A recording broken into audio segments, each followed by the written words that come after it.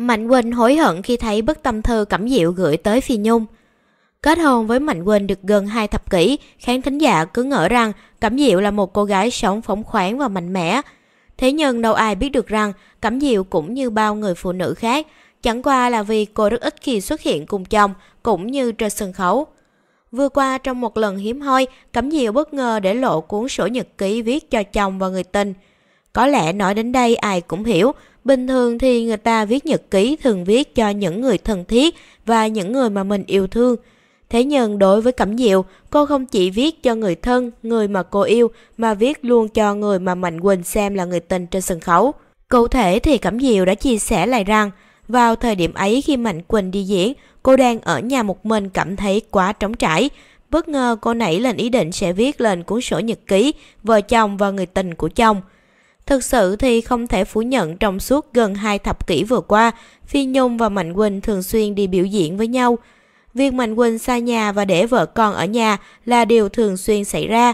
Có lẽ những khoảnh khắc này đã khiến Cẩm Diệu vô cùng tủi thân. Vào hoàn cảnh này có lẽ nếu ai đặt địa vị của mình vào Cẩm Diệu, có lẽ cũng sẽ có tâm trạng như cô. Chính vì vậy mà Cẩm Diệu đã viết lên những dòng tâm sự này. Anh Quỳnh à, em chưa bao giờ cảm thấy buồn như ngày hôm nay. Những khi anh vắng nhà em suy nghĩ rất nhiều. Có lẽ anh không hiểu được tâm trạng của em đâu. Nhưng em không trách anh, bởi em biết rằng anh khá mệt mỏi khi thường xuyên đi biểu diễn xa nhà. Em biết có những lúc vui vẻ bên người tình sân khấu, anh sẽ không nhớ đến mẹ con em đâu. Nhưng em không trách và cũng không thể nào trách được. Duyên nợ đã đưa chúng ta đến với nhau. Khi em đến với anh là hoàn toàn tự nguyện. Nhưng anh Quỳnh ơi, em thật sự rất buồn. Tại sao gia đình chúng ta không như những gia đình khác? Hằng tối gia đình thường quay quần bên nhau, còn có cha, có mẹ, vợ thì có chồng. Thế nhưng riêng em lại đơn côi lẻ bóng. Dù sao thì em vẫn là vợ của anh phải không?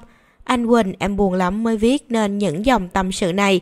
Em hy vọng rằng gia đình chúng ta sẽ sớm được đoàn tụ. Còn anh, anh cứ vui bên người tình sân khấu. Em không trách anh đâu. Đó là sự nghiệp của anh.